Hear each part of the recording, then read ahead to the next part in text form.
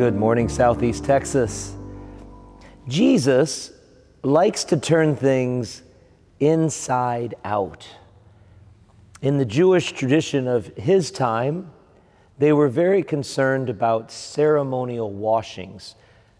The things on the outside, the cup, the bowl, the eating utensils. But Jesus says in today's gospel, Mark chapter 7, nothing that enters one from outside can defile the person, but the things that come out from within are what defile. Jesus turns things inside out. He's reminding the people of his day it's not the externals, it's about the internals. What do we need to be working on on the inside?